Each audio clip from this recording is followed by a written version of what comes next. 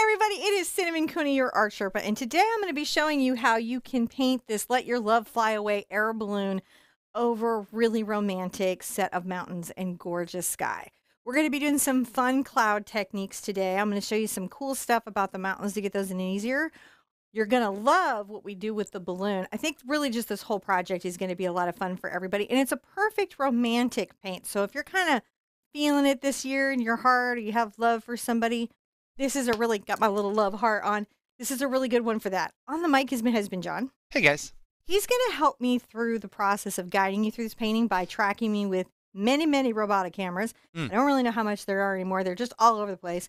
He's going to zoom in and he's going to make sure that you see everything I'm doing. That way you can duplicate the techniques for yourself at home. And I am going to break these techniques down. I'm going to really explain every part of the process my whole thing is to not leave you guys wondering how it was done. Even though sometimes watching someone paint looks like magic, I definitely, definitely want to show you how the magic is done. Mm. Now, uh, if you check the description below, there's a link to our website where you can find this really cool gridded reference just waiting for you. We're doing an 11 by 14 today, and because the image is kind of simplistic, we're going to do a two inch grid. But of course, there's more resources down there about like gridding software, places to resize traceables.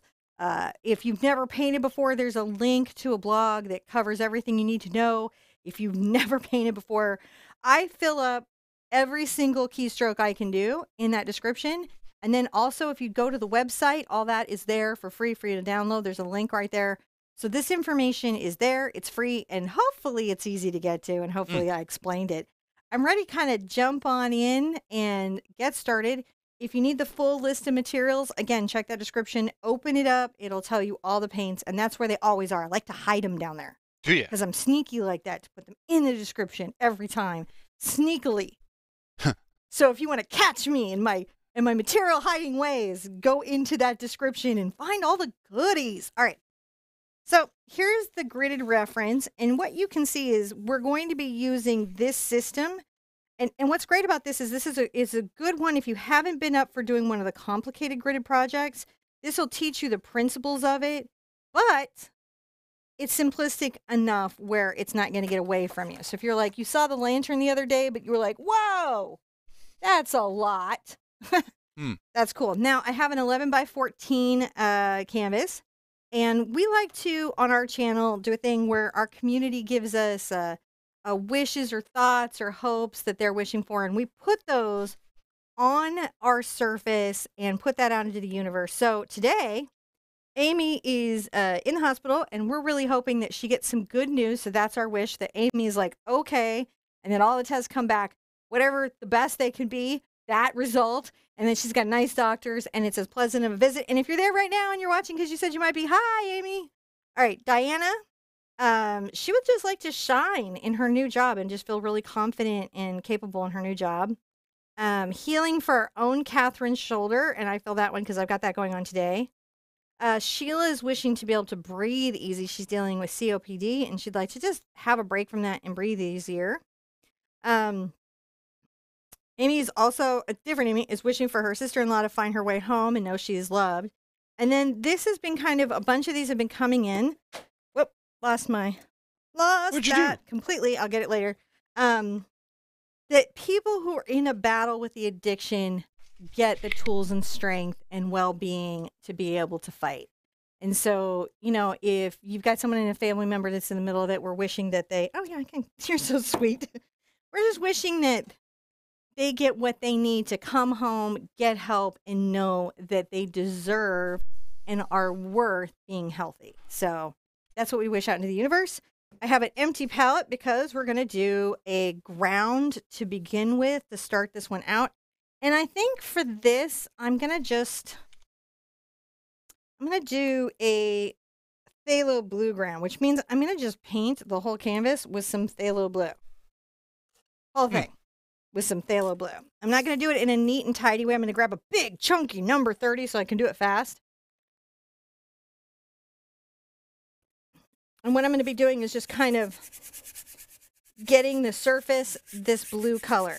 This is called toning a canvas or creating an acrylic ground.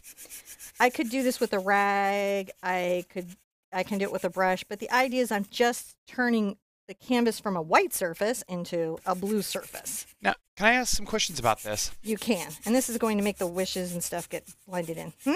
I, I've, I've I've seen people ask questions like, "Can you do this by coloring your gesso?" Yep. Can uh, there Yep, are Holbein makes 35 colors of gesso. Right, You can tinge your ask. gesso and gesso that way. It's totally fine. okay? So pre-tinted gessos are another way that you could use colored Yeah. grounds. This is a lot similar to if you've done, for those of you who've done pastels, this is like having your paper toned.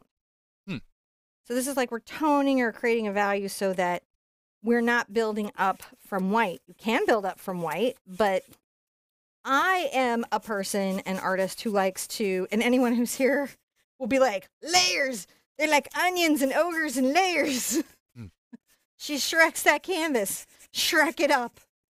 All right, you can see I got that all in there. I didn't even use that much paint to get it in. A couple areas where the canvas was being um, a bit troubling, and so that's nice because that gives me a fresh surface. Acrylic, those of you who've ever stored your paintings the wrong way know this, sticks to acrylic beautifully. Hmm. right? So if ever you store your paintings facing each other, they're going to become one single painting forever. So we're going to use that principle in our favor this time. Now, to do the next part, to do the simple gridding that we're going to do, I've got to dry this because otherwise my chalk paint, my chalk is going to get all messy. And John is going to talk to you about the wonders of color shift. Oh. Okay, so as she says, what you guys need to know is that whenever you're uh, drying your surface, don't use heat on your acrylic paint, and a lot of that's because uh, acrylic paint is heat reactive. It's a you know it's a polymer compound. It's sort of based in the plastics family, so heat uh, actually causes it to soften, can uh, accelerate uh, oxidization. Again, in your pro paints, you don't have as much of these issues, but they do in student paints uh, tend to be more prone to it. Yeah. I know we just like talk about it every time like it's like the biggest PSA announcement in Well- painting. It's just like a good talking point. If you're new to painting, that's something you don't know about. You don't know about underbinding. Nope. You don't know what those little wood pieces are for the back of the canvas. You don't know what to do about about like the list of things that you don't know. So sometimes we talk about those talking points because you're only going to be at the beginning once, and these discoveries are only going to be new ones. And I hope everybody is enjoying learning new facts. Now, this tool is a T square. Uh, I don't know who made this one. It's really interesting because this one seems to be like almost all my T squares go from left to right. You know how like we read, but this one goes from right to left. But it was cheap. They were a steal on Amazon, and so I got some because I needed some that weren't messy. Now, as per your recommendation, I am testing this out.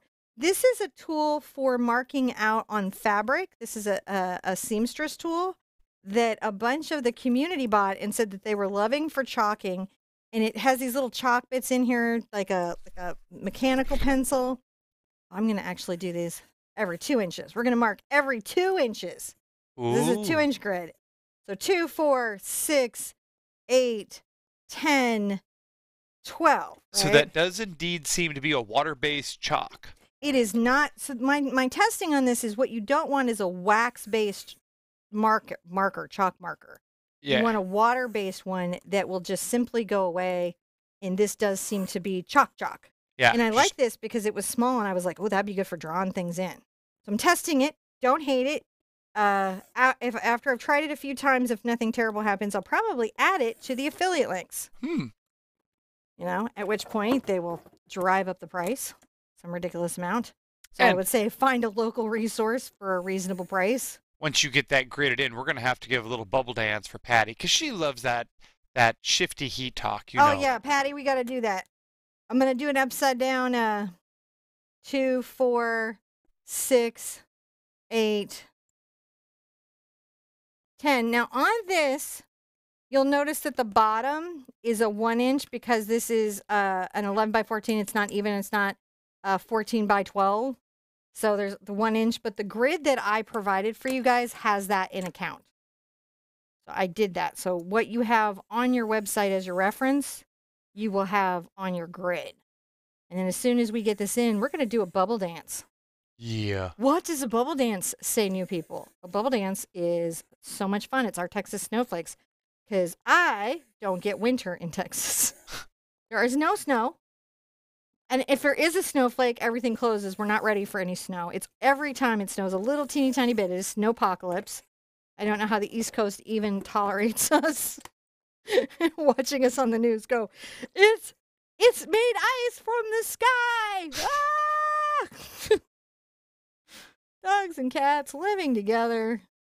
Ice from the sky. Pretty soon Vigo's going to show up and cause some trouble. All right, so there's our grid, and you can see that went in really well. I am liking this. I think if you guys know what exactly the tool's called, because again, this was y'all's suggestion, Here, hold it back up here. is what it is. Let me zoom in on it. And it came with a little specialized pencil sharpener for it. Yeah, it has a pencil sharpener, so I can sharpen my chalk here, and it's kind of like got that mechanical pencil thing where you like can bring it down and it'll it'll lengthen your chalk. So pretty cool thing, I think. So far, we'll see how it goes. All right, bubble dance and Oh, a yeah. sip of coffee. We should I feel like I got the grid in, so I feel like I deserve coffee. Yeah, This I is agree. when people start going, "Is this woman gonna talk the whole lesson?" You you I will leave a comment graded, before You watching. You did it. Super graded. You did it. Do the Sherpa shimmy. I, I'm, I'm afraid to make the camera shimmy because it's likely to go wah and go crazy and go look at the wall or something. Yeah, give somebody a heart. Like, like, "Ugh." it's it's the- it's it goes from being very sensitive to being oversensitive. If And- you wandered in here and you're like, how much talking is there? There's a lot because I find it helps teach people how to do the projects. And we like to say thank you to our patrons who support us and make what we do possible. And we like to have fun because this Yeah. isn't supposed to be some like boring academic study of art, Which Okay. you could do which we could do, but I don't feel like doing. today. Now, I number my my squares so that you can also number them. And this helps you find spots better on the canvas. Uh, so that is provided as well, you know, on your surface. Like there's 10 here and 8 and 6 and 5. Meaning that right here at the point where 12 and the last block are and 10, the heart kind of comes down and goes up. See how we do that? Mm-hmm. Now you can see in square line 10 on this part right here where it's two, you know, two, four, it's going to come almost to the edge. Look at that. And then we're going to come down through this and actually make a cross line across 12. It's really wonderful how this works. Now, the traceable's there, guys. Nobody's telling you that you cannot use the traceable. We That just want you. what's yeah. We just want you to have some grid fundamentals. Well, because it's a super useful way to start getting your uh, stuff in. Mhm. Now, I'm going to simplify my balloon a bit. There's this fabulous little point that comes down. I haven't decided if I want to put it in or not. We'll see. And I'm going to put my little basket right here. I'm making my basket a little more focal, a little bigger, just because for the balance of the painting, sometimes things are terrific in a painting, but not so terrific. Uh, I mean, an, terrific in a photograph, but not so terrific in a painting. Right here at the 8 and 10 line, I'm going to make the top of a mountain. And this little mountain's going to travel down, down across 6. It goes down. There's some misty stuff that happens. And then over here, guess what it does? It also travels down, down, down, all the way to this far bit. There is a side mountain coming forward, and it's going to come almost through 8. I like this chalk. Mm. I am not hating it, like at all. So far, I like to test things for a little bit because sometimes you think you don't hate it, and then you're like, I do, I do hate it. It's terrible. it seemed good at first, but then I, it is not good. And I feel like there's probably in the mist another little mountain range there, and that's all we've got to do. Now, another thing you can do if you really struggle with clouds, you can watch the video I dropped yesterday, which is about four really simple skies. And if, if clouds are like your nemesis, you could do the sponging method and be like, I'm done. But if you really struggle with clouds, you can also use the grid maybe sometimes to help you get in some cloud shapes or some cloud effects, right? Hmm. Yeah. I am going to just take some CAD red for a second. While you're putting that out, I'm going to say thank you to Sherry, who gave us an awesome pair of sticker, and Lydia, who says she loves it when you do the Sherpa shimmy. So thank you, ladies. We appreciate your support. Shimmy, shimmy, shimmy, shimmy, shimmy, shimmy. You shimmy, give give her shimmy, a remote shimmy. control to a bubble machine, and you're in trouble. I It's love true. somebody was writing there like, "What is the unusual shiny substance all over your palette?" And I'm like, "Bubbles." That's They're like, "No, really, what is it?" I'm like, "Bubbles. It's bubbles. Bubbles. We blow bubbles. Watch the video." Hmm. They thought it was a secret gliding material. it is glycerin. bubbles. Glistening. Now, the other thing, if you want to, you can kind of let yourself know about how much of the balloon's little ribs, how they're going, if you're going to want to get those in. Oh yeah. And I feel like, you know, we are, but I'm going to sort of freehand them in as I paint it. If you're really nervous about those, go ahead and, you know, put those in. Actually, I'll show you how you would do that. Like you would come here and say, all right, there's this one here. Because that could be something you might be nervous about, huh? How to get the ribbing of the balloon to be a little bit better. Hmm. Here we go. And then uh this one this one kind of comes over. And you just use the gridding again, right? To help you find the perspective on your little ribs.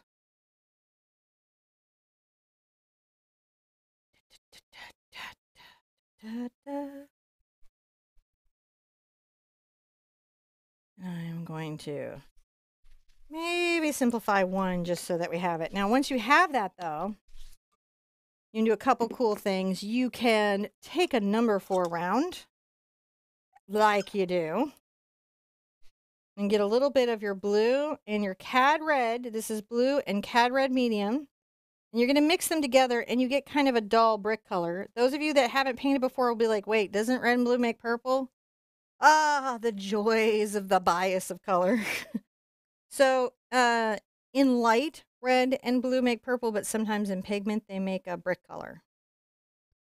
Because there's a secret primary that's hidden within these two colors that you maybe don't see with your eye, but you'll definitely see with your with the mix. And eventually you'll start to see with your eye. So red and blue make brick. Some reds and some blues make brick, but not all reds and all blues make brick. And there's we did a whole video about that. I remember. split color charts. We have a bunch of blogs and stuff. It's actually the the split color palette thing was the first time I understood color. You're like, oh, that's what's going on. It's them hidden sneaky primaries, Scooby Dooing up my color palette. Well, yeah. So you can see I'm just coming in here with my paint and creating these little deeper lines. It's a place to start, right? Hmm. Everything takes a lot of layers, and we'll probably be doing some of the sky, and some of the sky might get over our balloon a little bit. But by putting this in now, we're going to be super happy we did. You know who likes layers? Ogres and onions? And Stephanie Barlow, because she gave us an awesome little pear sticker too. Okay, you guys are so awesome. I love all the pear stickers, and it's such a tribute to the big art quest. I think so. So I love somebody was like, "Is there any chance that the Ruth, Ruth Archer picture is still on Paint My Photo?" And I'm like, "Not only is it there, it's the number one photo on Paint My Photo." I wonder how that happened. y'all are uh, y'all are are are are, are some referencing folks. They are. They use that reference, and all these people are like, "Oh, it's all about pear photos. Is that what people want?" And so all these pear photos happen. Just in case. And then some, I started seeing pear paintings that year. Like everyone was doing pear paintings, and I, a friend I knew was like, I don't know, pears are all over the internet. There's some sort of pear trend going on. I'm like, is there? I wonder where that happened.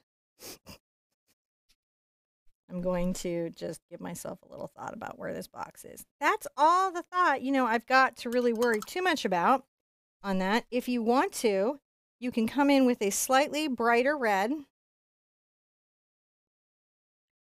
and just go ahead and give this that coat, that first coat. Because we have Oh. so many coats on our um, painting to do that sometimes this early work, even though we're going to be going scumble, scumble, scumble sky, this is nice and will help us later. And also, it's very chill, is it not? Yeah. Chill beginning to the painting. We're going to paint in the ribbles of a balloon. At this point, it's very cartoonish because it's very flat lines with, you know, fields of color. But we're going to make it fluffy and flow through the air.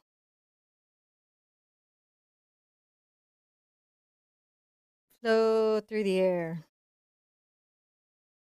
So it's interesting. I have a lot of Valentine's paintings this year, like a lot, probably more than I've done any year. Hmm, why is John that? and I are not Valentine's people.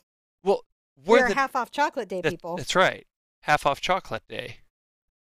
But I do believe in love.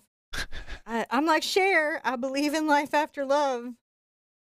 You know, So, I I'm like the darkness. I believe in a thing called love. oh, the darkness. We should make like a Sherpa like playlist. I think I have one in there. I think for a while I had like uh, music to paint by, and it was just like whatever I was jamming to that night. And I hadn't actually shared it, but all these people found it, and they're like, "That's a really good music playlist. That's really nice." I'm like, "Okay." That moment when you forget that your YouTube channel is like super public. mm-hmm. You know, that's a thing. You know, sometimes you will go along in life and totally forget that you're a YouTuber. you're, like, you're like, oh, yeah, I remember what I do for a living. YouTuber. So I'm just painting this all in. Hopefully, you guys are painting it in too. You can kind of see that I'm just following the strokes. If I lose my line, my dark line, I just come back with a little bit of the the blue. I just want to keep track of where it is. And just do a, you know, nice long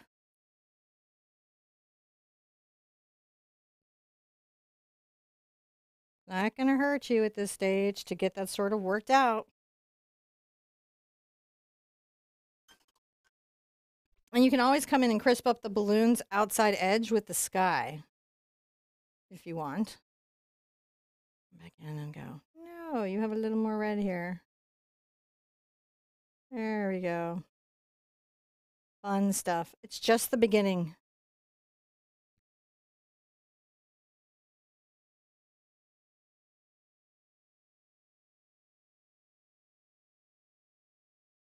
When we get the quinacridone cad red mix, the balloon's going to really, really pop. But not pop in the air because that would kill everyone. That wouldn't be good. So we saved ourselves a little bit of work later by doing this now. And in painting, a lot of times, you know, we'll look at stuff and be like, what is going to, you know, create a lot of work later? Where can I save some effort and some time? And you know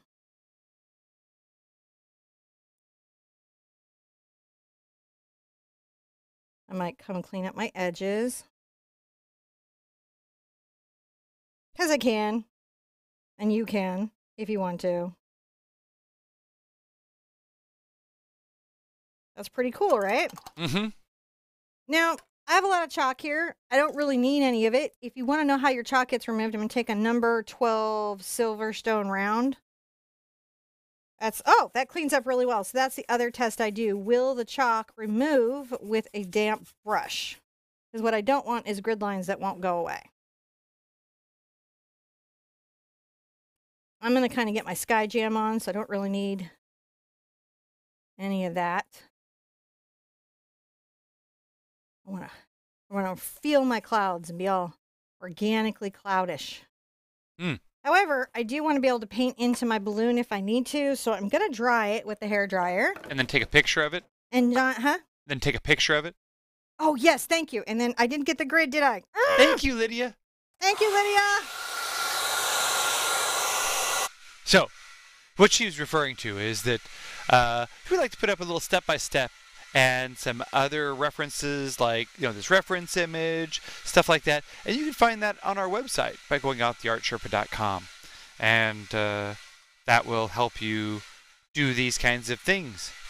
Um, you'll notice that the painting appears a little dark, and that's because she's on the underpainting stage. So as she continues to add more layers, those uh, it'll start to brighten up and, and look much more like it does there in that reference photo. Yeah. It takes a minute to get to the reference, but we do. You can check some of my other paintings.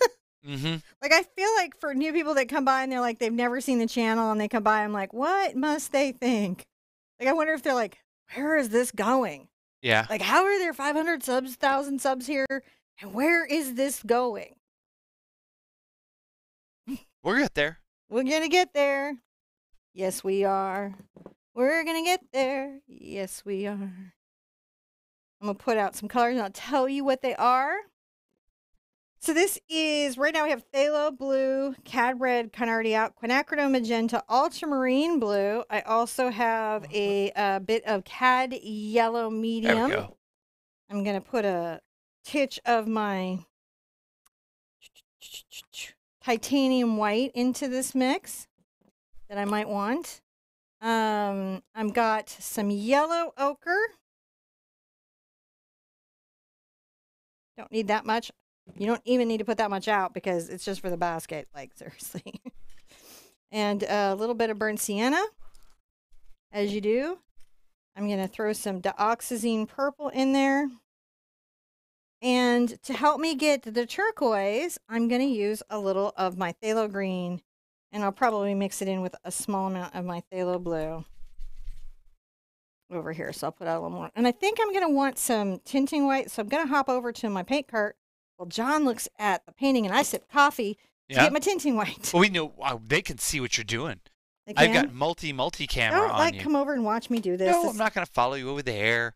That would require. He's so weird and creepy. more hand-eye coordination than I'm prepared to exhibit today. I gotta finish out this zinc anyways today because I lost the cap. So there you go. All right, so titanium white, zinc white. Zinc white's really nice when you're doing landscapes because it lets you do the landscape, and that's why we like it. How's everybody doing? really good. They were saying earlier they really liked your necklace. That was Thank very you. sharp. They thought that was very pretty, and they liked your hair and makeup today. You looked very on point. Thank you. It's like all matchy matchy. Where it's like a It is thing all is going on. I matchy-matchy. feel like a. I feel like a. Got a thing going on. Maybe I don't have a thing going on, but I You do. feel like Everyone I was do. so thinking it's you like, do. They were they were saying you're looking pretty good today, Sherpa. I got some stuff. I'm going to start putting in the center of the sky, which is really going to be a little bit of phthalo blue and phthalo green mixed together. And I'll go ahead and get a little bit of my titanium white into it because I want quite a light color. And we're going to just take this brush, this big, what you want is any big brush you have that you can do this sort of fluffy, scumbly stuff with. You have a fluffy, scumbly brush? Hmm. You could use a mop brush. You could use our mop technique. You could use a sponge technique, really, whatever you want. It's fine. A little more blue into it as I go. I find myself drawn to the crane technique. Are you now? Mr. Miyagi got me hooked at a young age. I feel like Mr. Miyagi sometimes. I'm just brushing this back and forth. And look, that brushing, it's like the painting that's underneath that blue kind of is showing through. It's really nice. You can see where the bristles are leaving some different tonality, which always great for the atmosphere of sky.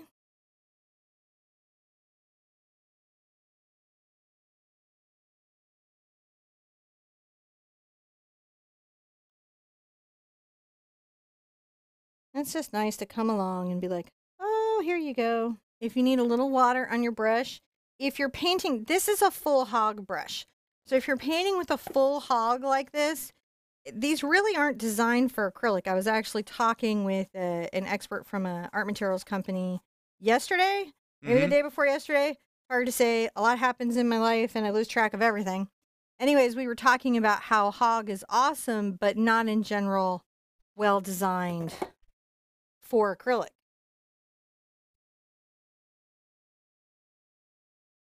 And so what you do if you have just a hog, and you can get just hog, big chunky hog brushes, lots of places. You just have to know don't let them get waterlogged. Uh, with goat, avoid it altogether because the acrylic and water over time will misshape the goat brush beyond recovery. So you'll have a great brush for a minute, but then in about half a second, anymore. the finicky nature of goats. The finicky. Well, it's fine because, like, you know, they're made for different media, right? Mhm. And it's okay that I get over the balloon a little bit. We're not too worried about it. We're just creating that sort of blending thing. Now, I can come in with a square brush. I'm gonna grab some of my. This is a number eight bright. So these just have short filaments out and nice edges. And I'm gonna make sure that my mountains are kind of thought about here.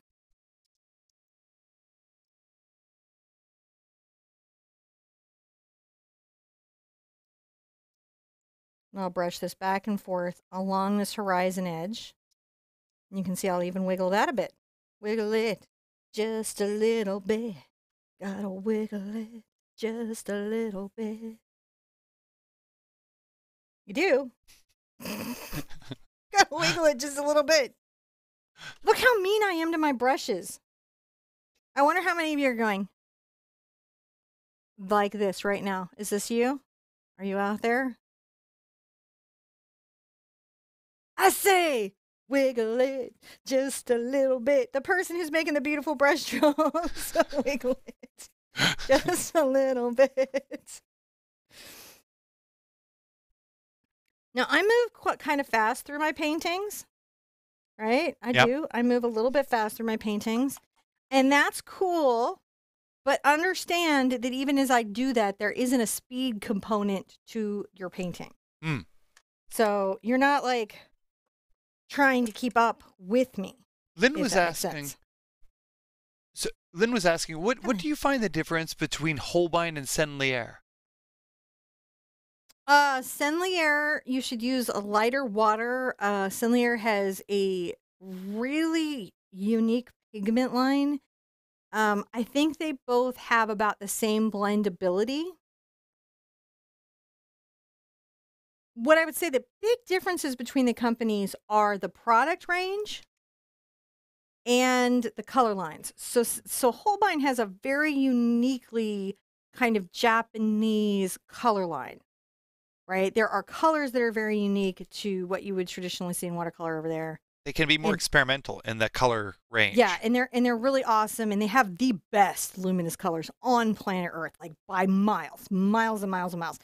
But they also have 35 kinds of gesso and all these mediums, and every pigment line is a watercolor, is a gouache, is a matte medium, is a gesso, is a liquid, is a They're just a paint oil- technology company. Yeah. And so uh Sennelier has been around since really Van Gogh and actually provided paint to some of the most famous painters in the world. They used to come into the store Mhm. and they are old world's craftsmanship. It's how we keep our foot back into the past so that we can move And- forward into the future. So the beautiful traditional colors and processes and and things from European painting is still available there. And They're both yeah, equally hard to find online. Sennelier has years and years and years of know-how and knowledge that Mhm. range back, and their ability to sort of reach into that uh, knowledge base and produce quality product is pretty. So they're both fantastic companies and they're just each a little bit different. And what I would say is, as an artist, what you want to do is you want to figure out the few companies that are good and won't waste your money and just work with them. But be a little bit flexible because you never know what you're going to find on sale. You never know when you're going to find a deal. And if you know, Sennelier, Holbein, Golden, Matisse, um, and M. Graham Mhm. are all safe. Pebeo, safe. Uh, Royal Talens, safe. If you know those companies make good products, then if you see a sale, you can jump on it. Oh, new one that's good is the Artist Loft level three, not two, not one, three. All right, let me. So I'm gonna take a little bit of my ultramarine into my quinacridone magenta, and it gets me kind of this red purple. I'm go ahead and add a titch of white to it, and I'm gonna come here, and I'm gonna begin to softly put in these little kind of clouds. So here we go. See, I'm wiggling this brush and moving it forward on the toe Fun stuff.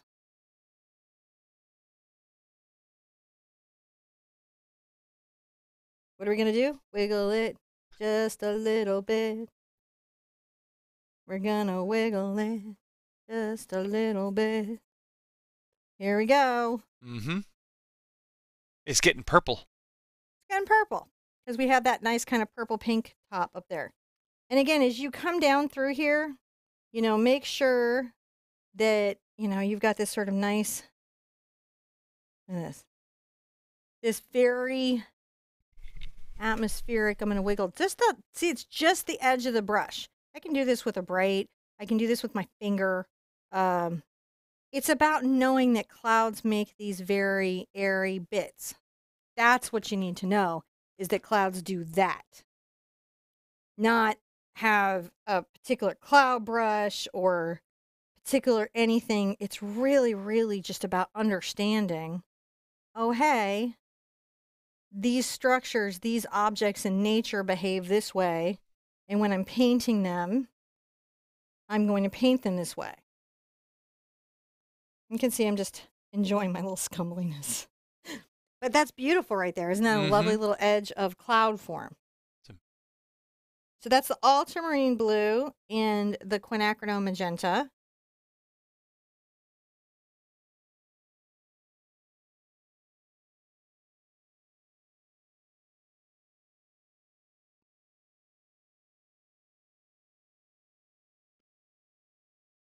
I'm going to get a little more magenta on there, and I'll come right on up to the balloon. You know, get it right on in there. Where we're going to go right into the balloon. Because I know I'm putting it back, I just needed to know where the basic balloon was. This balloon is so basic. This balloon is totally basic.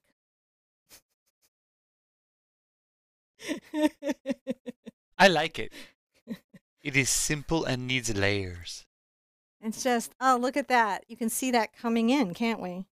Now, as I'm coming down, I might get a little more into my tinting right here. You can see that there. And I know that these are, they have a little bit of the pigment in them, but they're just a softer. And I want to start talking about those softer bits that are right there.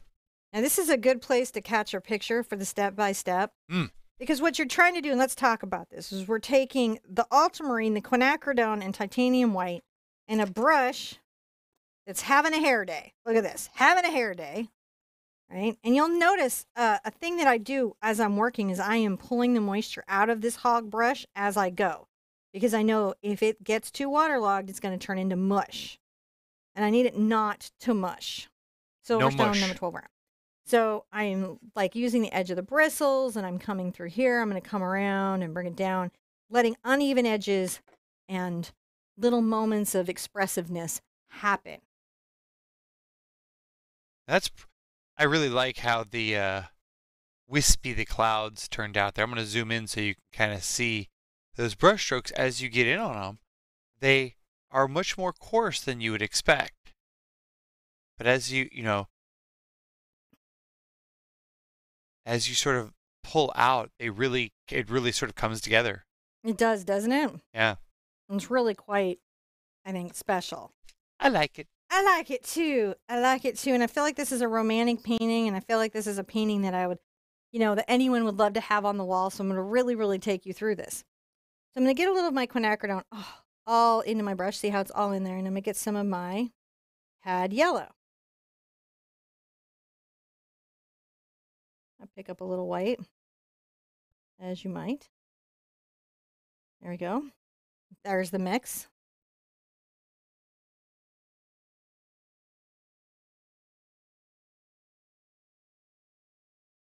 So if you're looking for a brush like that, what you're going to want is a good hog, right? It's great if they'll mix it with syn- synthetic filament.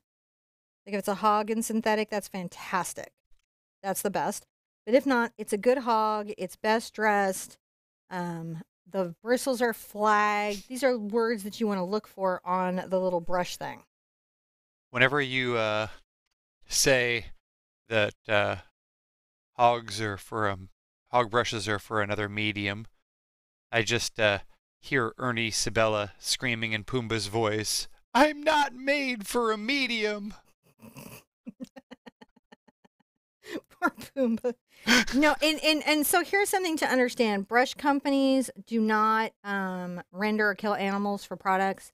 No. They actually make deals with uh, industries that are already engaged in that, and um, and purchase from them. Yep. Which is one of the reasons why um, sometimes brushes are very high cost.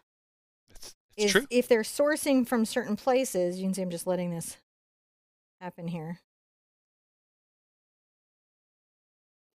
If they're sourcing from certain places, those costs can get up. It's like uh, when they do bone black, which used to be from ivory, right? Ivory black. Mhm.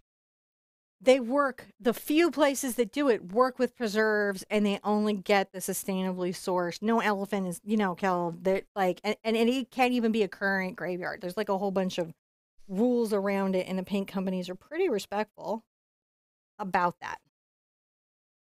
So sometimes, you know, it's true that in the world, I'm going to go carefully around here. It's true that in the world, these are big issues that we need to be aware of as human beings. But often in our own industries, it's not the same thing. I'm going to get a little bit of my white and just make sure that this is a nice blend. Just so you know that As we go down. painters are sort of equal opportunists, go check out Mummy Brown.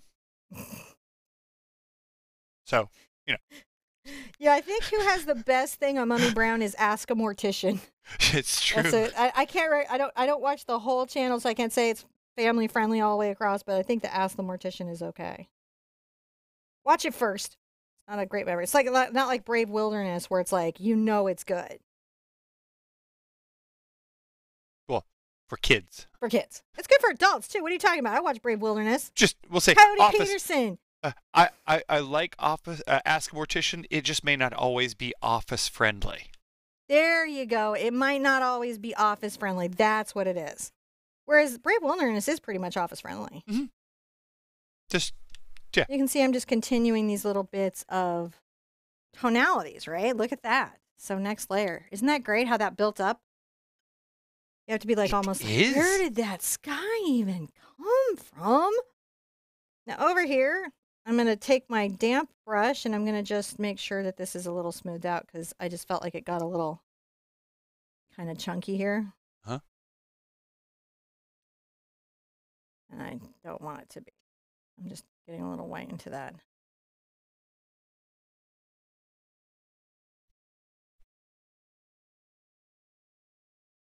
I'll get it again in a minute. I'm going to get it again in a minute. You guys good? Yeah. I like how we're just building up this sky, aren't we? I think it's looking really good. You know, when you understand that the skies are built up in these kind of like layers and that it's about these sort of irregular edges, it really helps your experience within, you know, the painting on the sky. So, pink, a lot more yellow into the pink this time.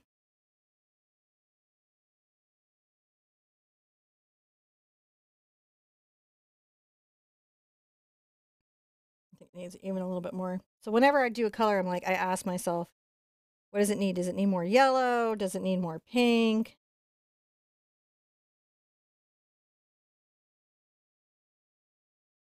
I'm just using the craziness of the brush.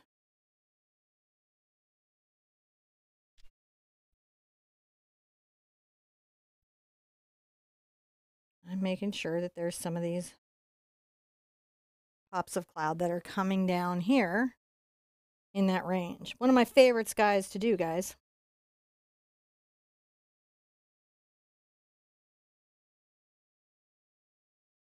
This brush here, look at its hot mess. Hmm. Doesn't it look like it's just had a heart attack? I've had this so long. This was one of the few brushes that I had really dropped some money on Mm-hmm. When I was painting. Like I really like I didn't wait for like the sale or anything. Had this a long time. And it's still here. And I still love it. No, don't just let your brushes go because you're like, oh well, you know, it got it ha- it's having a bad hair day. Because look what this bad hair day is doing. Look what it does. Does great stuff, doesn't it? Gives me these wonderful little bits of what? That's wonderful. That's so wonderful. Is that not just stunning? Get back from a bit, you're like, oh gosh, that's real pretty.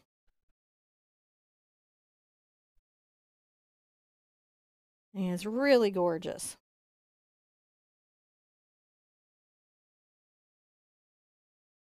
I might pull a little more white into it. You can even get a little more zinc into it because you're just,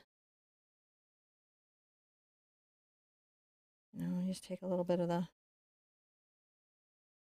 Talk a bit about some highlights there that are happening down the clouds because that's dramatic when we get back. Look how dramatic that is. So you're taking something that you've already started to imply, and then what you do is you lean into it. See how we're leaning into that sky?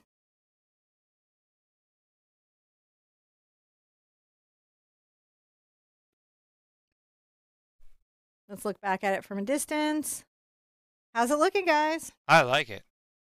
And then you can even take some of this in the same way you took the pink color in there and kind of add it to the sky a few places as well. Talking about maybe a very soft cloud form that could be happening. You just find little spots and be like, where do I have some clouds? Super happy with that.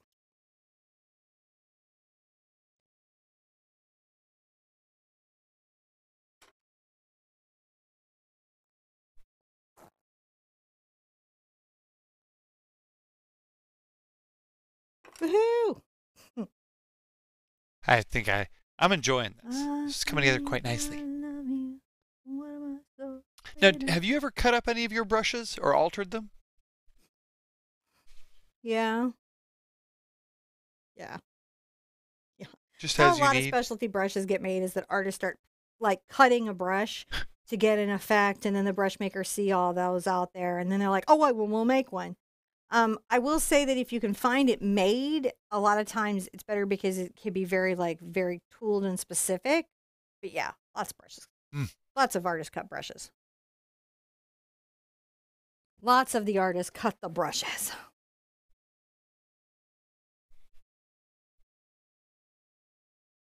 I'm happy with that. So we've got some low clouds.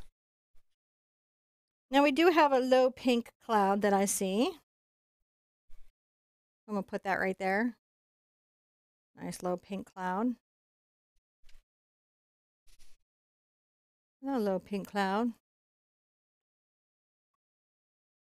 Rinse that out. And we also have some nice kind of little fluffy other clouds, right?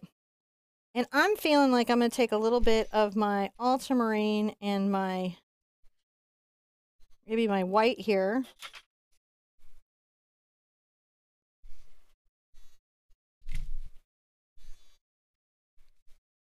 I'm going to bring in this little sort of mountain head. Look at that go.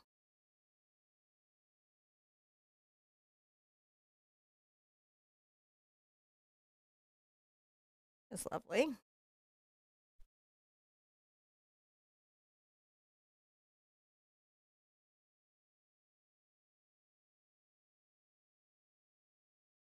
Ultramarine and the white.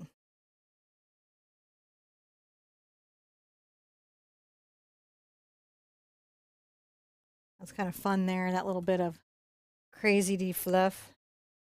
And let's also add something here. Wiggle it in. And come across the mountains. You know, really wiggling that in, and I can kind of bring some of that out here. Look at that. Well, that's that's happened, hasn't it? Yeah. And if you want, you get a little touch, oh gosh, just a touch of yellow on your brush.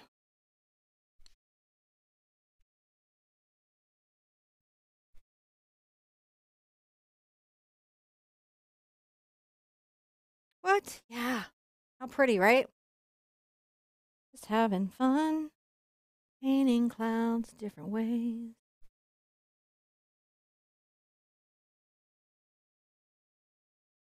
Just bring that along there, making little weird uneven edges. Hmm.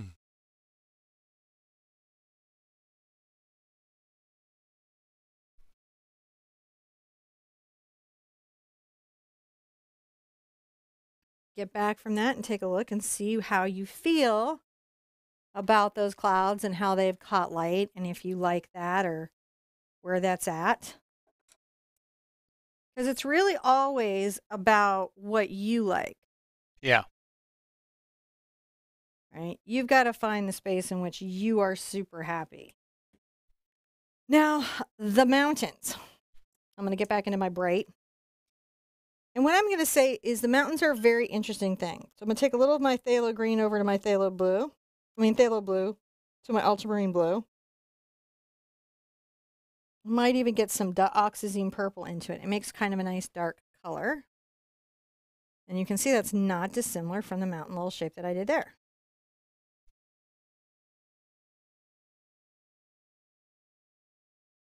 I'm going to brush this back here. This is interesting how this is going to layer in where we have the mountaintops and then the fog and then clouds and then mountains. Going to be fascinating little bit. I'll get some of my zinc. Come up the hill a bit to add some tonal interest back into the main little weird mix. And you might want to come on the edge of your brush, kind of just marking up and down to say, hey, this, and I can push, see, I'm push it in. You're just trying to make a, a very rough, distant tree line.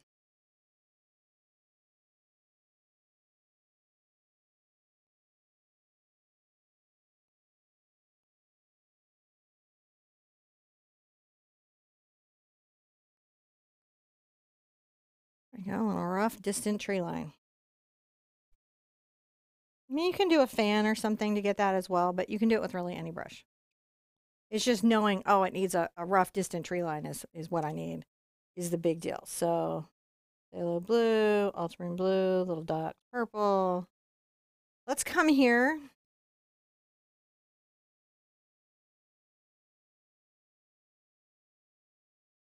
I'm going to bring this here.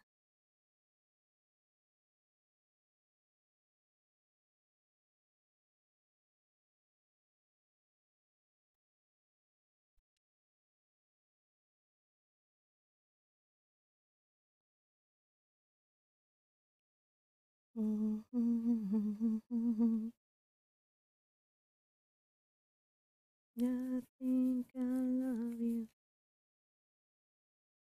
Right, we're pulling that there. Nice smooth little hilltop, right? Yeah.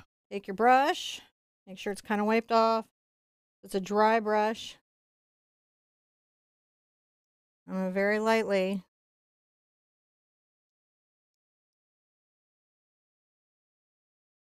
brush down that side.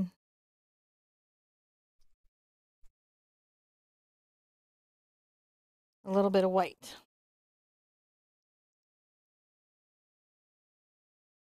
And I think to get the effect I want, I'm going to want it maybe to be a little drier. So I may put some in and then dry it and then touch it up to where I want it to be. Okay. So just you can see that she's just getting a little of that detail put in there, and it's important to get a, another good reason to make sure that you're dry between layers is so that you don't drag the lower layers with paint. Yeah. Thank you very much. It's true. So this is a kind of darker little cream color, and I'll come to this side and make sure that there's some talk of the snow mountain. But you can see the dry brush does that a little easier for me. A little bit better, a little bit more chill. I like it some more.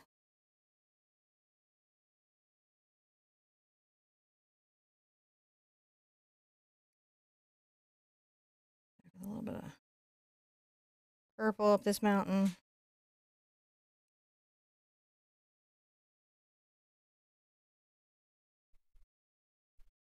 Accentuate that, exaggerate that little ridge there.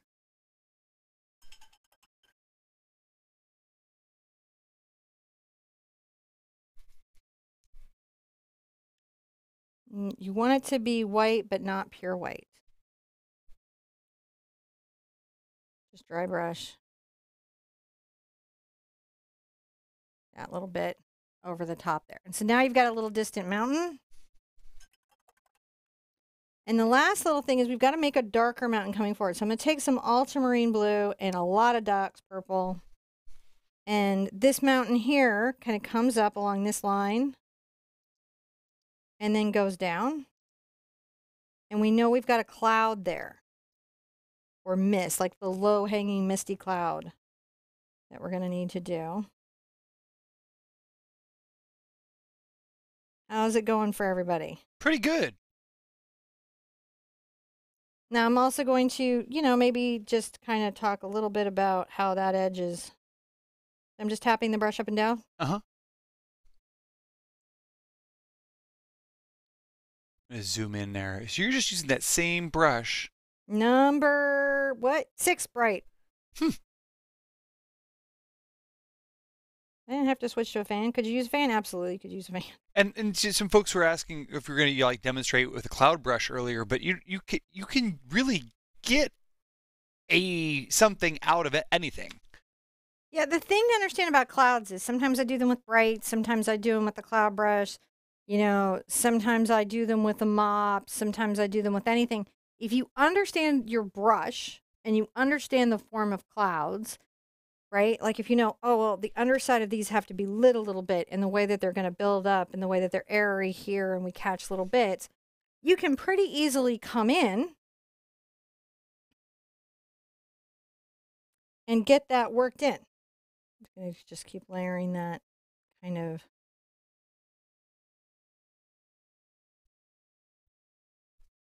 Making sure that's dark value. Now I have to dry this to do this next part. Okay. I'm gonna dry it, and then I'll show you the next part. Okay. So the again, the important part of the drying is just making sure that as you do the different layers, you don't want it to uh, smear or smudge or anything like that. So she's just gonna make sure that she goes through. She is going to go through and make sure that it is dry.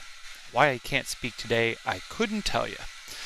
But thank you guys for joining us. We really do appreciate it. It's really nice to have you guys come out here and hang out with us as we paint pictures of hot air balloons that are full of love. And, you know, I'm in all seriousness, I love that you guys join us. I really appreciate you being part of our lives, coming out here and hanging out with us and doing this this thing called art. I'll do a I'll do a bright here. So this is also hog, so it gives me that nice scuffly effect, right? That nice dry brushing effect, but it's a mix with synthetic filaments. It's a number eight bright, right? And we've got some clouds to do here, don't we? So I'm gonna take a little bit of my Quin Magenta and some of my ultramarine, and that gives me kind of a purple color. And I'll get into my titanium white. I'm gonna come along here. I'm going to work just the corner of this brush. Making what? Very uneven little shapes. Pushing it.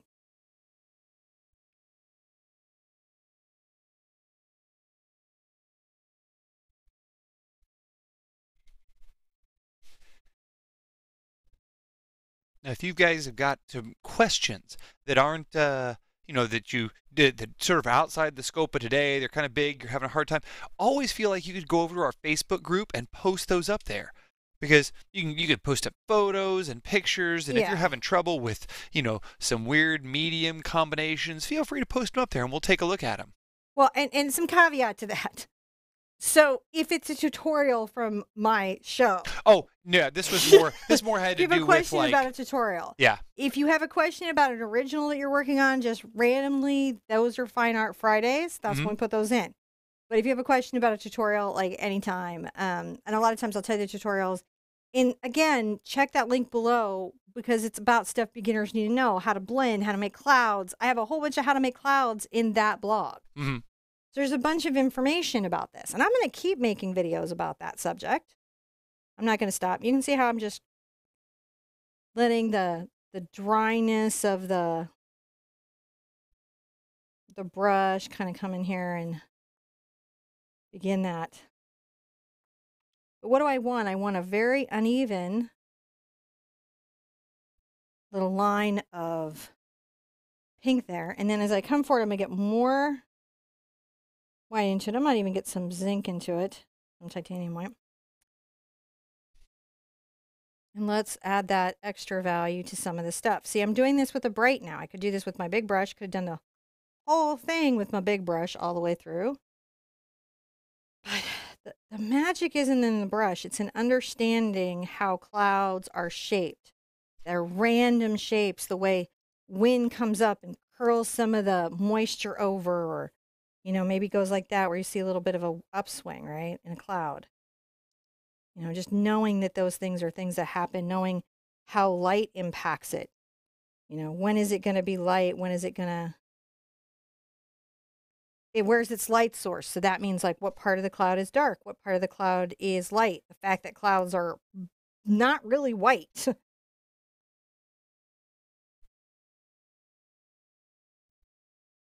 Kind of see that we're getting it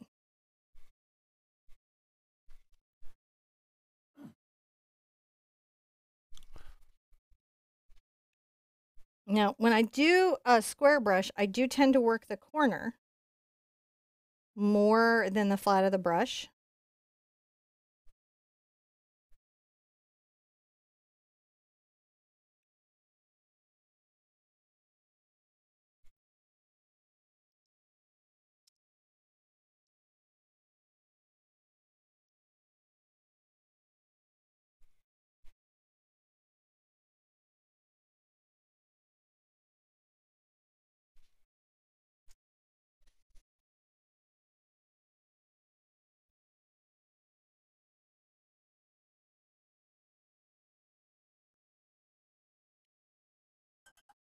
I'm going to rinse it out and pull the moisture out of it.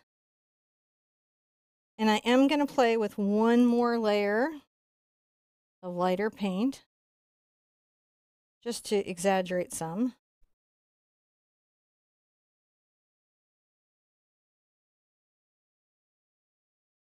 That's some deep purple smoke on the water.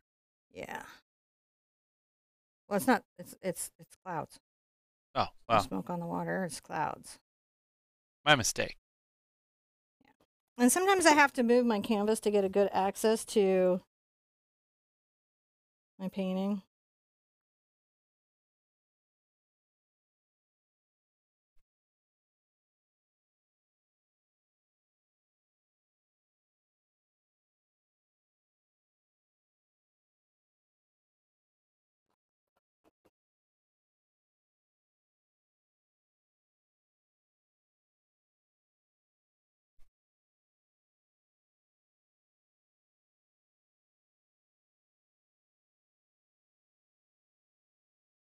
And then you just get that to where you're like, yeah, I feel like that's a nice low kind of mountain cool, you know, that works. I'm going to take a picture of that and then we're going to get the next mountains up.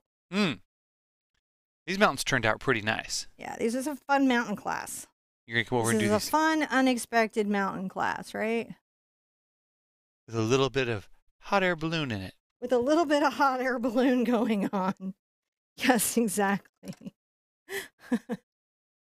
So here I've got kind of another little mountain, and it's interesting. I'm going to get into my ultramarine and my, interestingly enough, my yellow ochre. Because these, again, have a hidden primary, it will keep it from being uh, overtly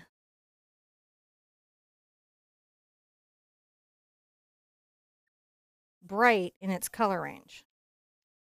I'm just going to just work that little mountain up here and know it needs some darker values.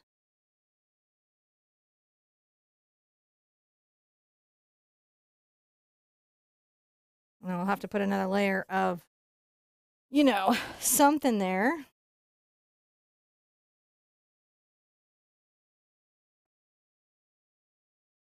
Pulling that in. We'll have trees and we'll have different things. We're just saying right now, let's get a little bit of our tinting white.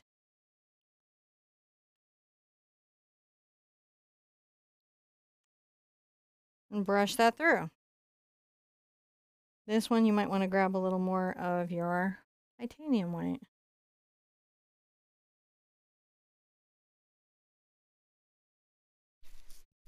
This is just a basis.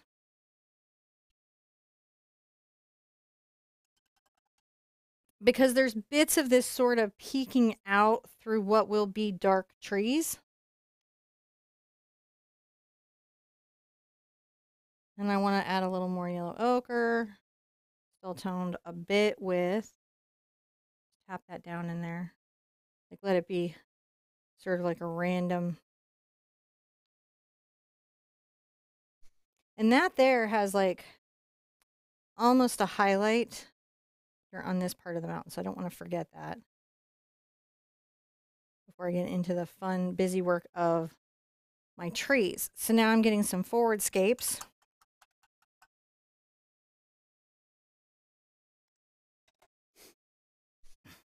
Dry it. Dry it. Make sure that surface is ready for the next layer. Doo, doo, doo. And oh, well, thank you, Rita. That's very nice of you to say. I'll tell Cinnamon when she goes back on. Oftentimes, I think that Cinnamon's paintings turn out better than her reference image, and I think that's just uh, because you know a lot of these reference images are either artificially created or she gets them off of one of the sites or some she pays for them. But I always uh, Hmm. I always think your uh, Rita was saying that she thinks that your uh, your photos always your paintings turn out better than your reference photos. Thank you. And I was like, well, yours you know, these reference photos are oftentimes created or taken from sites and kind of altered, but yeah, I like yours a lot better. Thank you so much. Yeah, no, we always, we never ever rip off photographers. We Oh, no, always pay everything's for our images. We pay. All right. So this side of the mountain kind of has like a uh, like a backside, and it's sort of misty. And how do you get to that, right? So I'm gonna take a little of my ultramarine and my phthalo blue and my diox purple. They're pretty nice, right? Nice dark color. And I'll get into some of my tinting white, which is got a bit of a you know lighter effect, but won't change the color of the brush so much.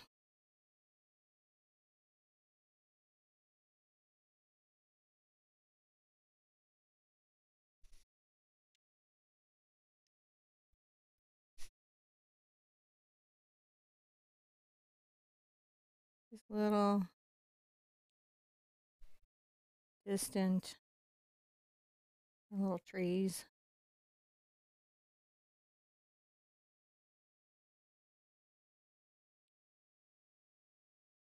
There we go. A little bit of that darkness goes up there.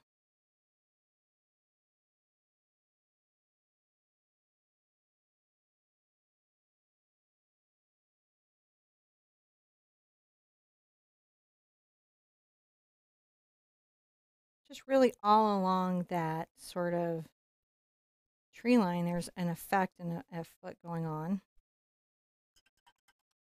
Some of these are a little more defined, so it's tempting to come in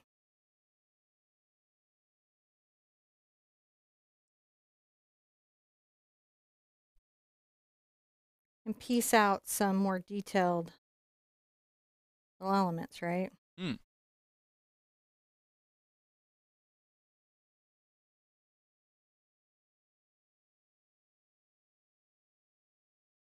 You know, you just got to keep in mind what you're talking about here, which is the tops of far, far away little pine trees.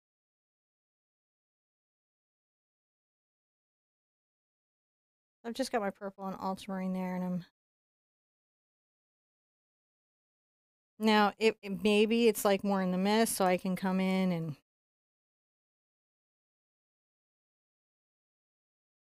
lighten some of those.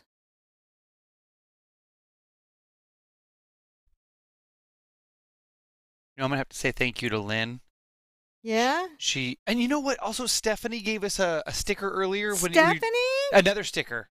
So she gave us two stickers today. She gave us another sticker earlier, and I was just in the middle of all of the craziness. So thank you, Stephanie. I forgot to make sure we I got that bubble for you. it up. Bubble to Stephanie, and I'm going to say thank you to Lynn, who reminded me to tell y'all to click that subscribe button. Oh yeah. then click the subscribe. bell so if you that like you free can. art lessons and with like a thousand already existing and probably a thousand more into the future, That's right. And subscribe. and then you can also get those notifications if you if you send them there to that little thing at the screen. And then you can always hit pause and come back to it. But forget who she is. Look, there it is. There, art Sherpa. That's who I She's here. am. That's who she is. So you can kind of see I made like a mistier color of those Where little are you? fellows, right? there, there you are. Now I'm going to come in and get a very dark value of them. And let's make some defined little bits of something. These will be a little more forward. Somewhere along here, sometimes there's like little clumps that happen. We want to tell uh, our viewers about those little clumps. And that's kind of why I like to use the round so we can be a little more specific. You don't want to paint like the detail of every tree, but just seeing that kind of up and down little value of the trees and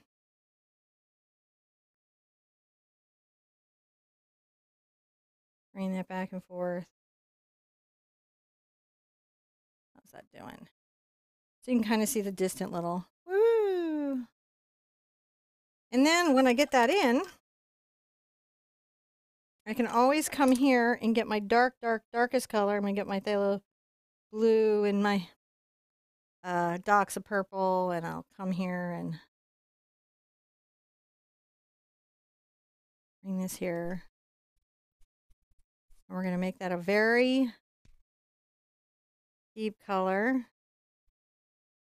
Bring that back here. I want that sort of deep too. Here.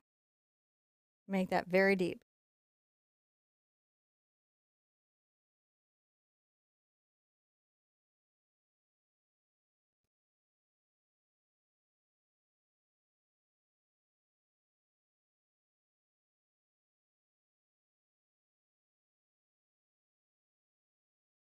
Because you're just talking about little bits of something that happened. Yeah. And we want those bits. Do.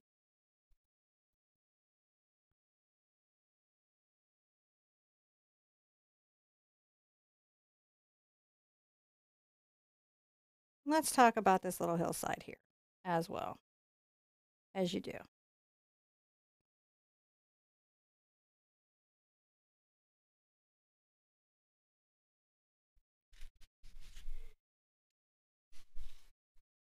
I'm just pulling the brush down. Yeah.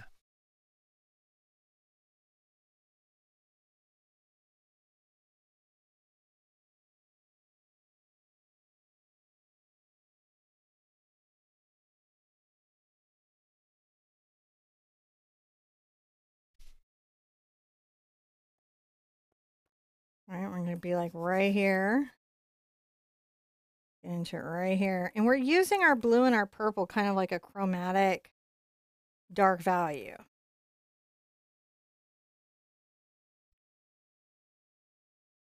You know, we're talking about these dark areas on our hills.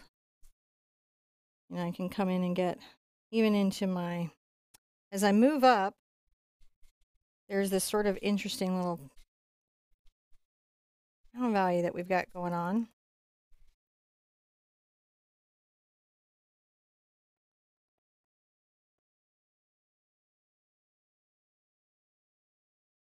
Make sure some of these are higher than others.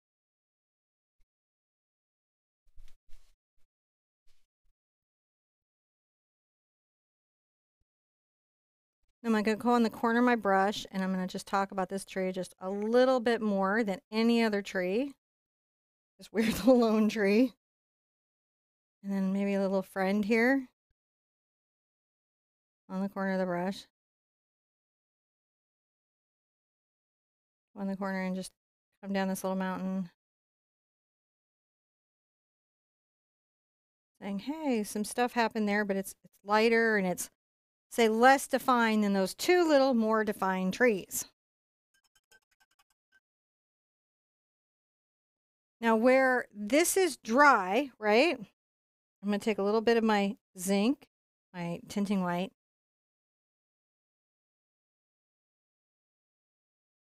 And I'm going to kind of come through here.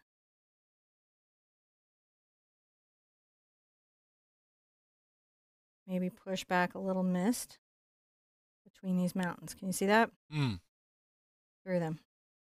Add some mist to your hills because the hills have mist. And you can put a little back in if you feel like you lost a little of your mist. Because that is the beauty of tinting white, zinc white, is that it will do that for you. You can even bring some of this back forward, which I feel like it kind of back into this mountain a little bit. Is that what I'm doing? Mhm. Layering a bit of mist. That happens right here. So those trees are showing out above that line. Nothing wrong with the tree showing out a little bit. Nothing wrong with a tree showing out a little bit.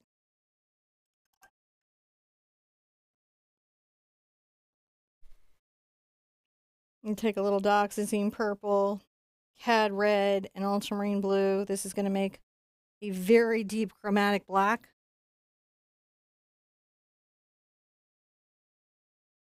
You can even add black into it if you want at this point for this front hill, which I may, because I do want the depth and value. There you go. A little Mars black out here. There you go. Uh, if you're wondering what this is, this is the Abstract Acrylic. It is actually an inexpensive paint that's quite good. Hmm. Um, it is one of the few student brands I do recommend. So I'm just making sure this is as dark of a value as I have on my surface, outside of the shadows on the balloon.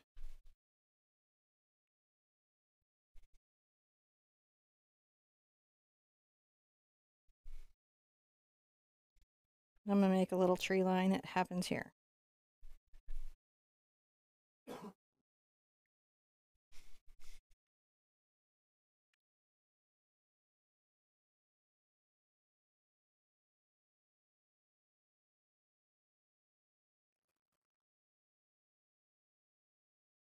So there we go. We've done the darker, i lighter into the darker mountains. You've kind of got that going. I like that. Are you guys happy with your scape? I'm going to take a picture of my scape. Yeah. So we have a little landscape, distant little bottom landscape. How nice is that? Turned out really nice. Now we get to have some fun. We'll work on that uh, balloon up there. We get to work on the balloon. So I've got my phthalo blue and phthalo green together, which is the color I, I use to make my sky. And I'm going to come make some a light version of it.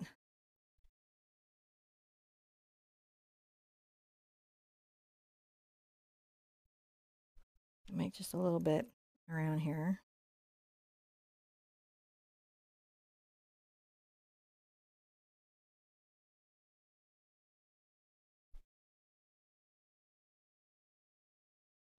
Sometimes I will come back and paint an area in around something just to make sure that it's, I'm wiggling the brush to blend it out, hmm really going to pop. Make it contrast. Yeah.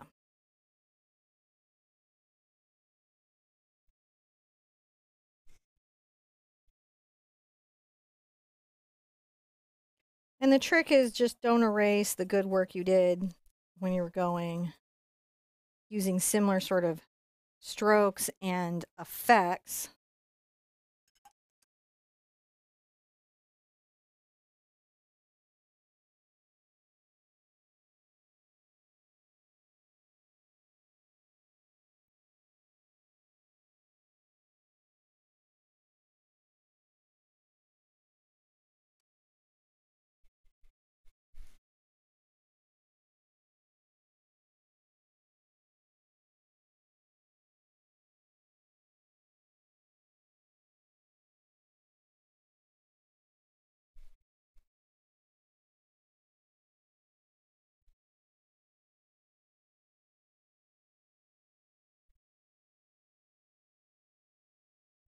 Are you know what brush are you using there? I'm just using a number six bright. Still that little Yeah, I'll probably do most of the balloon with this.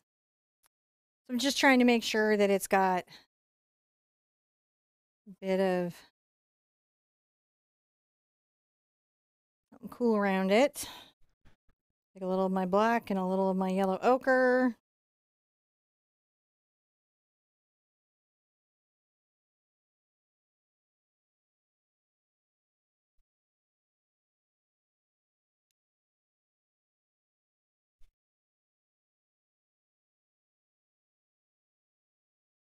There we go. Then I'm gonna get a little black. Oh, that was yellow ochre. so rinse out. Sometimes that'll happen where you get a color, you're like, I don't want that. So I'll just take it away. I'll let that dry for a minute so I can get it in easier. Mm. It's just being a mm. Yeah, mm. Mm mm mm. Mm mm mm. What you doing now? Looking for red. Looking for red. Looking for red. in looking all for red. the wrong looking places. for red. I'm just looking for red. Okay, I'm fine. Two different ways in that song there. I'm so weird. I'm gonna get a little bit of my again phthalo blue, which makes our brick.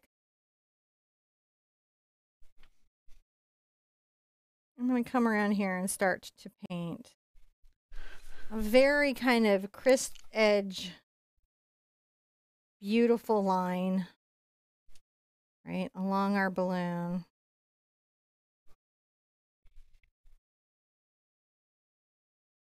You know, and there's some shadow there, right? We've got some shadow that's happening.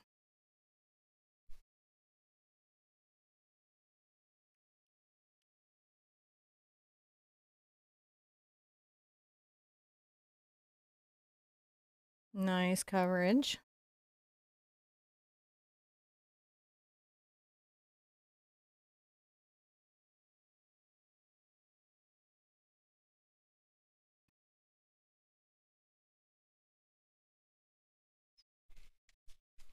A little, little shadow coverage happening here.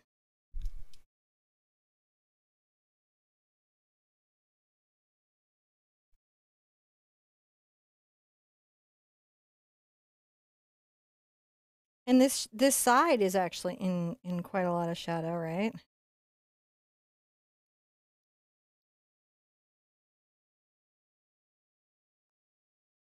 We got to start getting those values together.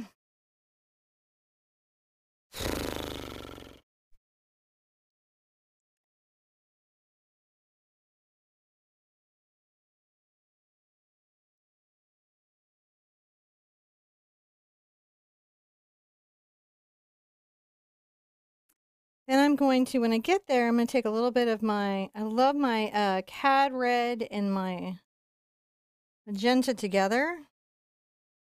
If I need to, I'll get into a little bit of my tinting white. Come along the side here.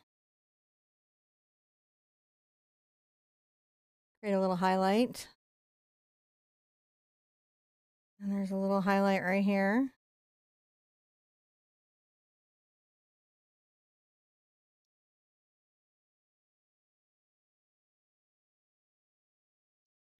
One that I will be exaggerating at a later date, tell you that. Red.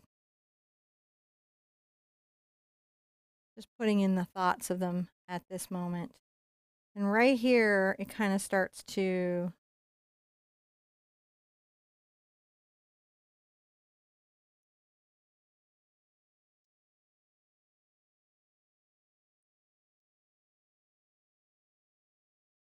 pull in another little area where the, the sun is maybe catching some of our balloon. We'll pull it down into here. There we go. How we feel about that?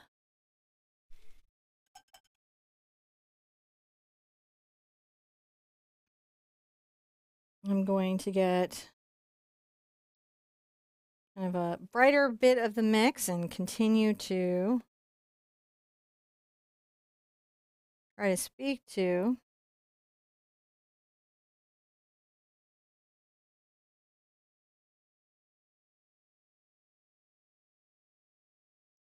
these lighter and darker areas. So that's what we're just painting. We're just painting the way the light and dark happens. If you need to go back and get your shadow color, what's nice is it's right here, isn't it? It is right there. You can just come right back up anywhere you need to. Like, you know, I'm gonna I'm gonna talk about that shadow a little more through here.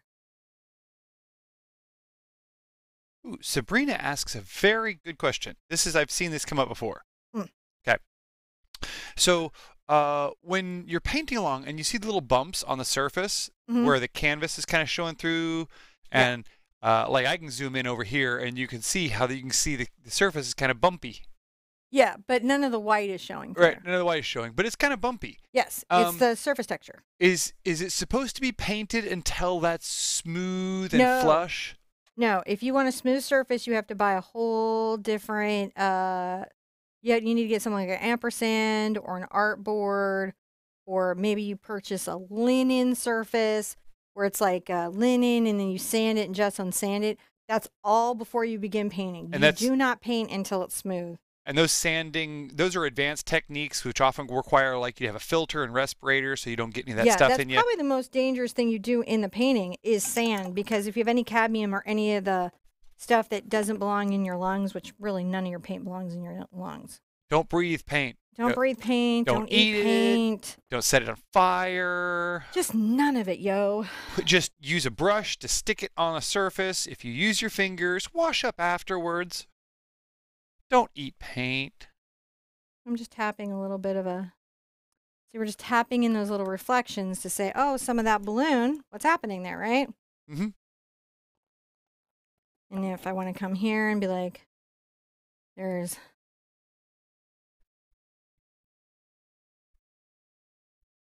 Some of that in.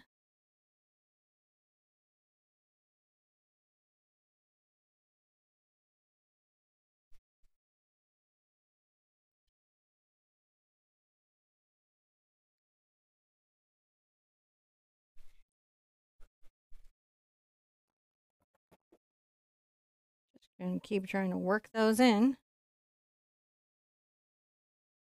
And then definitely, you know, up here at the top is more red.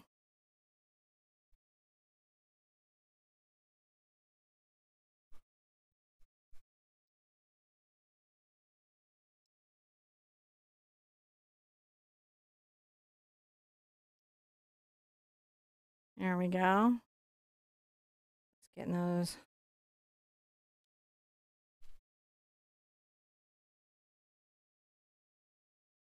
Pulling those down. Just enjoy painting this little red shape. Ooh, and I'm going to say thank you to Patty, who gives us a great public service announcement that says, don't drink paint water. Please don't. If you're gonna, you won't like immediately die. It's just something you don't want to get in a habit of, and cumulatively, it's not great for you. You don't want to be uh, the filter for all of that stuff. And thank Yeah, you, Patty. don't make your kidneys be the filter. Thank you, thank you, Patty, for all, and all of the patrons out there supporting us. We love you guys, love the support, and appreciate you guys sharing and commenting and clicking the subscribe button and the bell, and you know, all Doing the, all the things. all the things, the YouTube things. all the YouTube things. I'm just sort of softening this here. Sometimes I'll do that with a little dry brush effect where I soften it.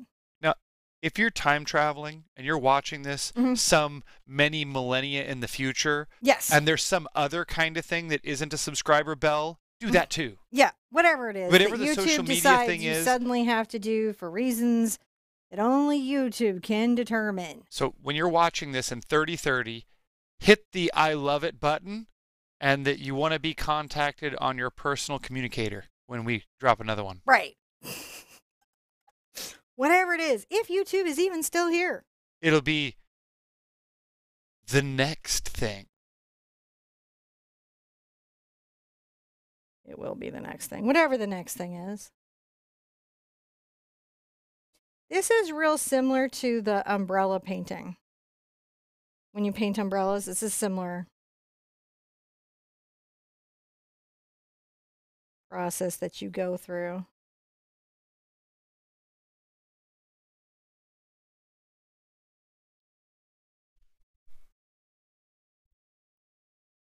Know, soften some of these ripples. When you paint pumpkins, again, similar thing.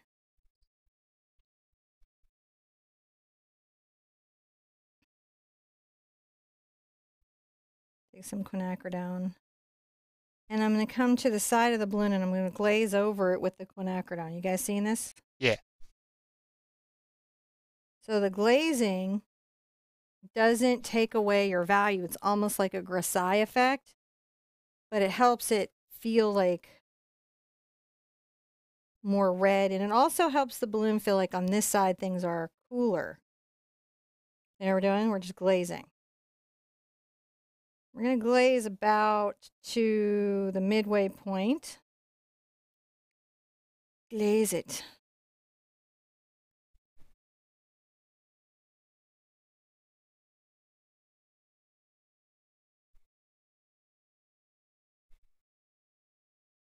And then also, I want to kind of glaze the bottom of the balloon, but not all the way to the top because this side's more in light. Just building up the layers. And yes, you know, we can absolutely kind of do a cartoon effect on a balloon like this, but sometimes it's nice just to know how to paint an air balloon. Sure. right? Isn't that sometimes just nice? Yeah, just sometimes nice to add. It's it's good to have air balloon. Like you could throw this against almost any sky that you were happy with, Yeah. and just be like, "Look, I have a balloon painting." I'm so enjoying what the Quinn is doing over the CAD red that I'm kind of pulling that around more because it's going to really let me get my shadow effects more how I want them. And, all right, like if I want to take a little bit of a diox into my Quinn and perhaps say, exaggerate anything that I have going on here, I can do that. I'm going to dry this All right. so I can do some dry brushing over the top. Yes, drying the surface does is going to be helpful for doing dry brushing, and that's because uh, if the surface is tacky, then the paint can delaminate or grip the paint on your brush, and it can make kind of a tacky, gooey situation. So if you thoroughly dry it, then it will avoid that. We like that. You do, you We do, like it. you do like to make sure that you're not going to, uh, you know, do anything Illegal? It's just a painting. There's really no illegal part of this. so Hmm. No, I, I'm going to take the bottom here you went all Bonnie and Clyde on me. on the art.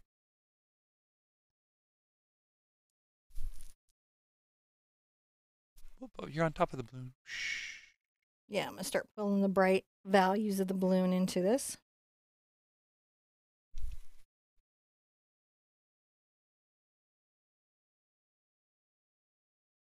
There we go. That's nice.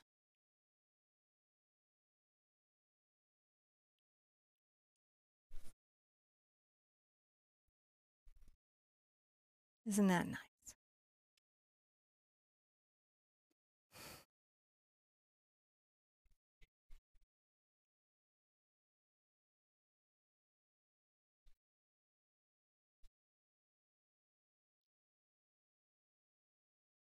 And isn't that nice? I like to say that every time. Isn't that nice? Mm-hmm.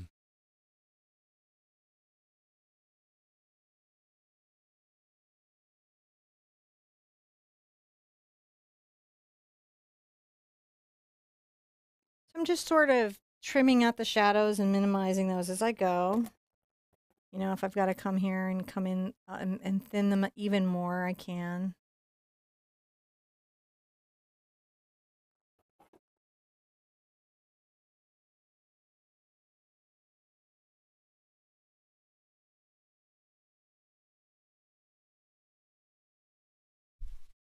Let's come across here and we've got a nice little the center one is quite the one facing us is quite bright.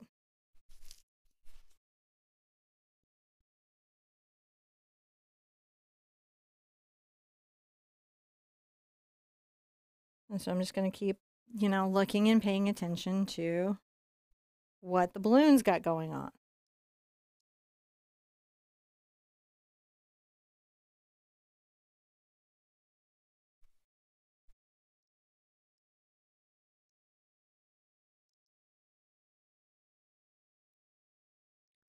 Painting that down. You can see it just it starts to happen, doesn't it? A little more there. And then maybe a little more there. Just keep layering it up.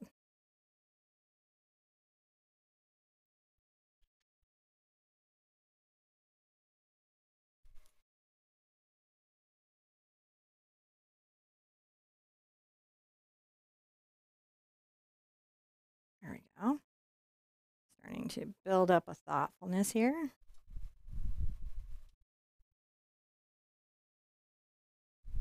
Let's look at that. And that, yep, it's getting there.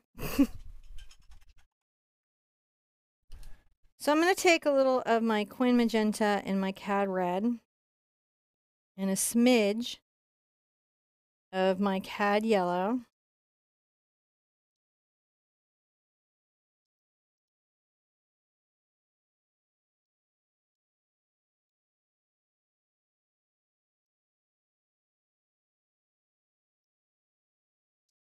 All these little kind of cool highlights. Can you guys see those? Mm-hmm. All right. So sometimes when you lighten red with white, all you get, especially when it's CAD, all you get is kind of like a coral pink. Fantastic if you're trying Oh. for a coral pink, but not fantastic if you're trying to keep your subject super red. So when that's the case, what you can do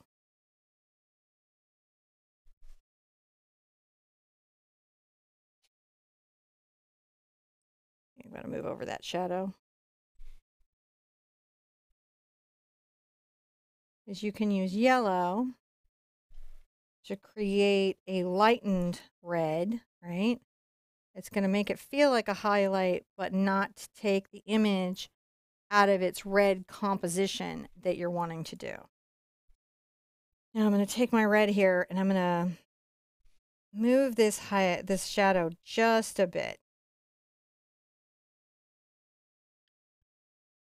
You see how I did that just a bit? Just move that shadow just a bit on the balloon.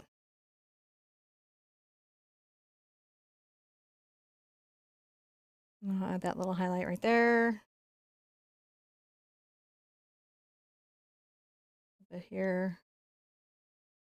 Here. So we're just getting these little highlights that are talking to us about what the shape of the balloon.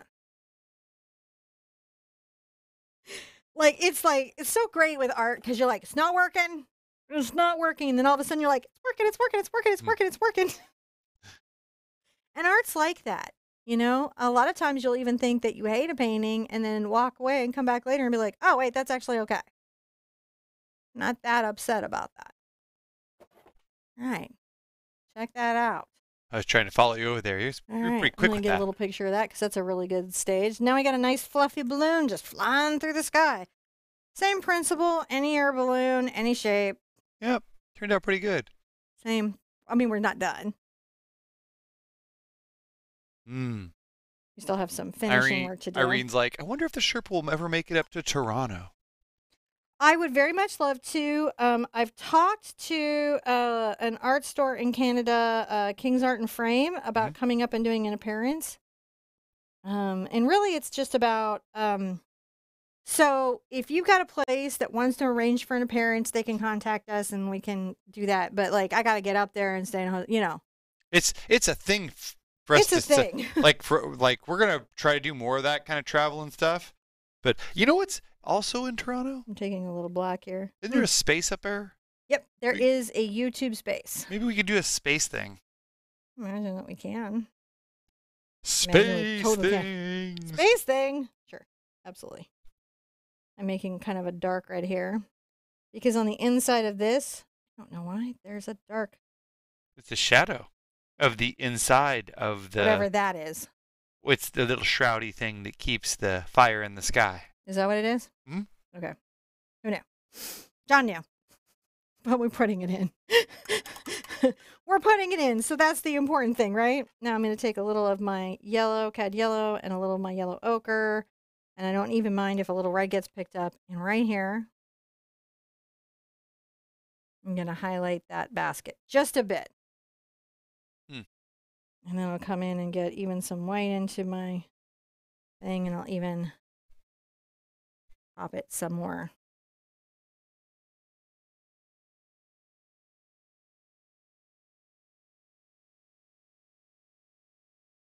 There it is. Ah. Nice little highlight right there, isn't that? That's it. Just a pop of highlight that you need. I have pulled out a Posca pen. A Posca. What's that Posca pen? So Posca are the paint pen that I recommend. These are Uni Poscas. You get them on Amazon. They come in all kinds of nibs. I have so many sets around here. My mom had found them and recommended them, and I and I at that time I was liking Molotows and some other stuff. Tried them, did a uh, uh, uh, made it go round with them where it's like ten people coming through every ten minutes where we did rocks with pens, and it, we went through like 150 people and the pens all still worked after. Hmm. So they are now the pen I like. They're a paint pen. They're a paint pen. Uniposca paint pens. So if I say had to do some fine lines, I could do that. Oh, Do that. I saw it. Yeah. Show you a couple cool things that they'll do. She got to dry it so that when she puts the um, T square or whatever back up there, that it doesn't smear the little Posca pen. If I needed a few little wires kind of coming in there, You could make some wires. yeah, get that like little effect happening. Gotta go work down, not up. I know. I'm just like, and come on this edge here, come on that edge there. And like, there's a couple spots here where there's like almost a white sort of uh, stitching that shows. And now I can come in and you could do this with a really fine liner brush. Noticing that I don't continue the line the whole way through. Just on the sunlight glinty side. Yeah, like like the the string is catching light and uh, doing a thing. I can also come along this side of the balloon very carefully.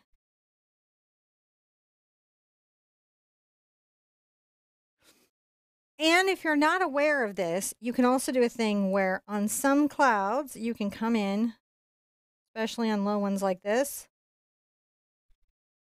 create some Cloud layer. that is highlighted that is quite like woo. What What's really neat is that's actually a, an atmospheric effect that really does happen Yes. when a cloud is backlit. And so it appears dark on the surface and can blend into the sky. But because the sun is behind it, it literally silver edges those clouds so that they super stand out. It's a super neat atmospheric effect. See how gorgeous that is? So, So- not something you have to do, but I do do on occasion and thought you might enjoy seeing how that is done. I don't know that that atmospheric effect ever combines with that crazy fire in the sky clouds, but No, it does. oh, well, there you go. Yeah, I could do it up here and stuff. You can also kind of hit some of this down here if there's some spaces that you want to talk about it, going, oh, it kind of went down here, and then maybe it. Sometimes, you know, these are the weird little touches that help you see the work you did. I'm always amazed by nature and all this stuff. Yeah. Yeah. Uh, if you like the Uniposcas, I did a golfing one also, kind of uh, featuring them just in general as a tool.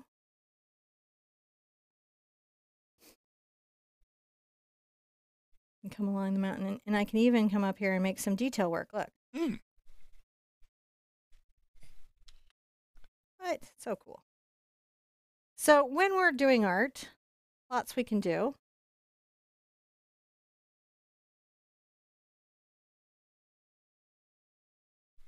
Lots we can do. I think I see some here still.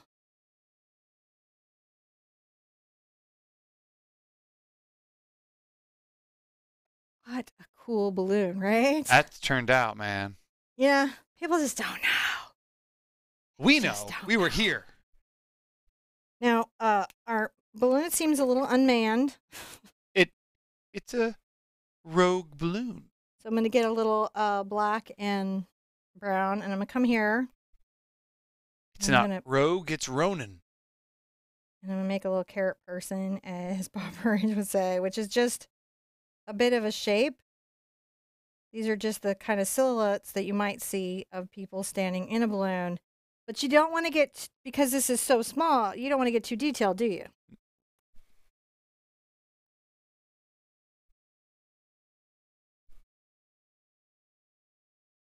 So now we have people in a balloon. They're there. And guess what I can also do with this? If you must sign with the pen, this would be the one I'd recommend. Oh, yeah. This turned out really nice. Look at that, guys. Wow. feel like we need to bubble out 'cause We we have like so much support to do this. You know, this was one I know a lot of people uh, because you've air balloon festivals in your area or you've had some experience around an air balloon festival. That this was an important image, and uh, you know, it's really hard when you work from a photo because there's this emotional attachment to what you see in the photo to translate that into a painting. And what I love showing you is, is that sometimes the painting is even more wonderful than the photo itself ever could have been because it has all that depth of color and whimsy and fantasy and those really great Oh, little lines. The necklace matches your painting. well, it's it's our Valentine's Day, a necklace, doesn't that? You're all blingy. Be good to yourself. Be good to each other. And I want to see you at Anizo really soon. Bye Bye bye.